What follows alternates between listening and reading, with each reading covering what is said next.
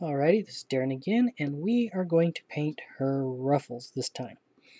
This is just going to be a quick base coat with the pure white.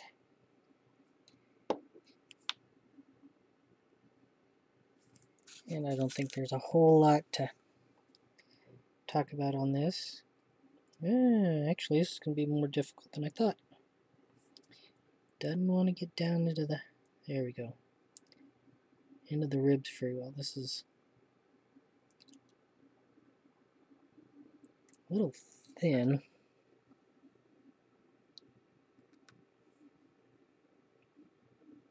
I think it'll work.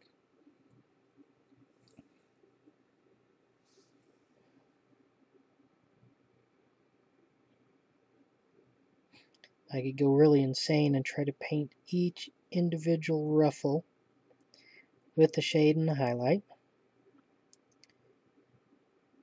But I think that would be crazy on a tabletop mini such as this. It's not meant to be a display piece. Not supposed to win any awards. Of course, if you did want to try to win an award with it,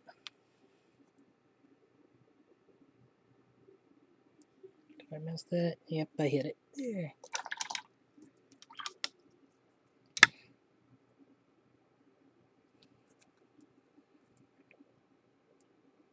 I was saying if we did want to win an award, you probably would want to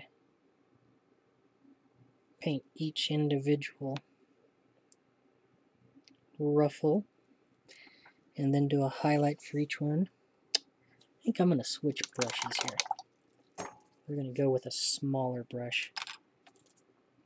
Hadn't really planned on that, but I think that spot is just a little bit too tight for what I'm trying to do.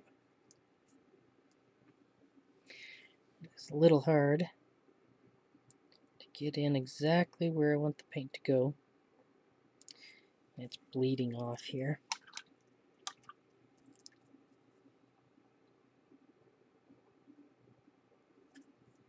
Is becoming a wash. Should probably let that dry. But I actually just saw I've got more ruffles over here, so work on that while the other stuff's drying.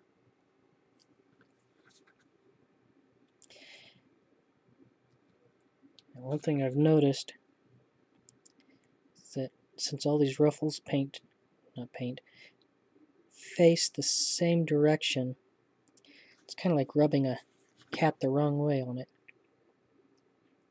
If I brush up, it grabs too much paint, so I'm having to keep brushing down. I don't think that really matters to a whole lot of people, but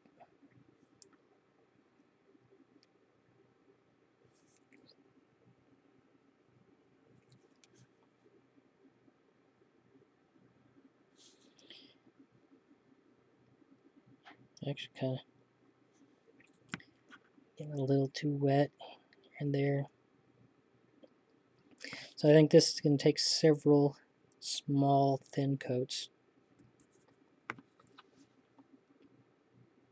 Maybe why I'm having such trouble there. So let's just turn her upside down. Maybe I can get to that easier. Oh yeah. It's one nice thing about having the mini temporarily based on something you can move around like this. So it's easy to do a little upside down tricks, move things around.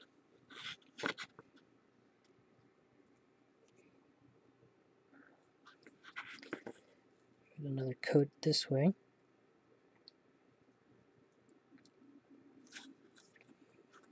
Now this is one area. I think maybe a white primer would have been really good. Because it would be very nice and bright. barely touched that edge right there.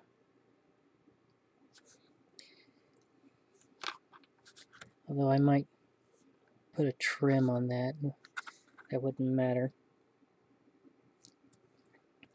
So think about that. Let's go back in here. Catch up all the little spots that I see.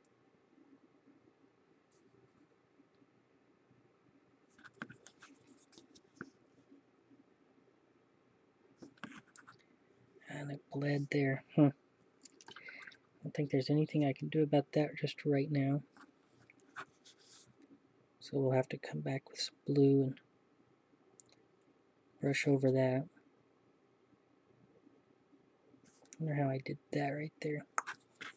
Hmm.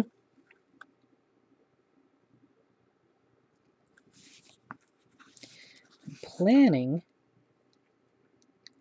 to do a light wash on this in yellow.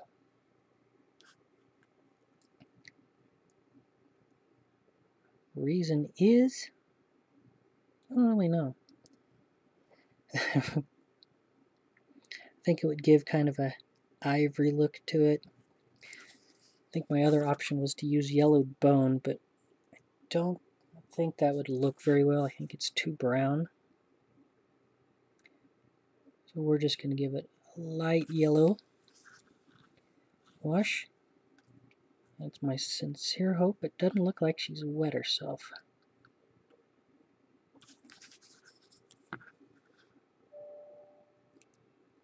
So we'll let that dry and then we'll get to the the yellow wash on that. Okay, I have a mixture of some yellow, sunlight yellow, actually. And I almost don't want to do this. I think the white ruffles look very nice and very pretty right now. But unfortunately, curiosity killed the cat. I wonder what the yellow is going to do. So it's just a light drop of yellow with some water and a drop of future floor polish. The reason I'm doing yellow is I am limiting my palette to just those colors that would come in the first Reaper's bone set.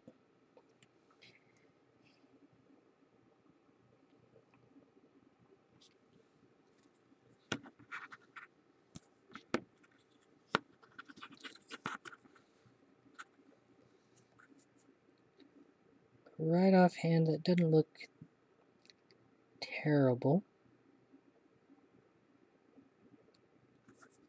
Does add a spot of color, which is really what I was wanting.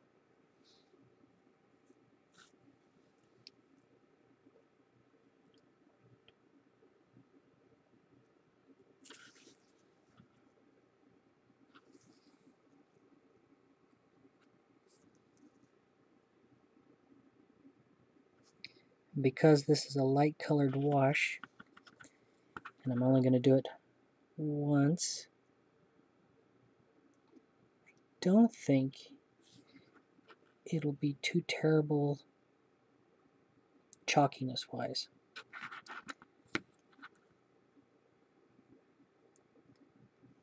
I think it'll just give that smallest of tint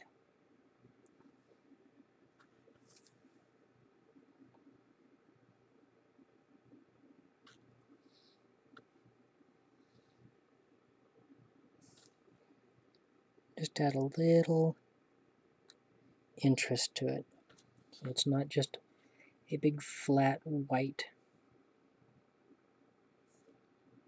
bulk.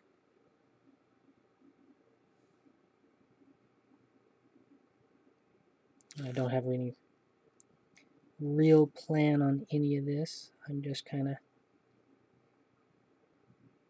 hitting it where I don't see a lot of color seems to be down at the edges a lot. Kind of sucked into that middle crease there, but I'm going to let it be.